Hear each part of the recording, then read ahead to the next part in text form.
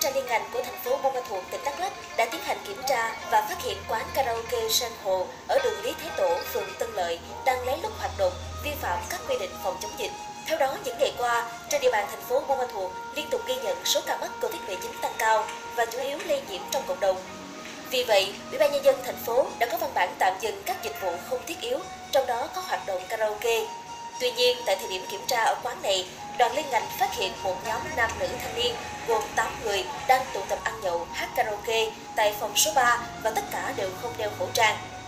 Phát hiện có công an, nhóm này đã chạy lên sân thượng lẫn trốn.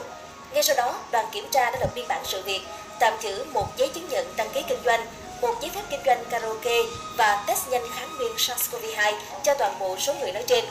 Qua ghi nhận bước đầu, những người có mặt tại đây đến từ nhiều địa phương khác nhau, đặc biệt có nhiều cô gái tuổi đời còn rất trẻ, mới 15-16 tuổi.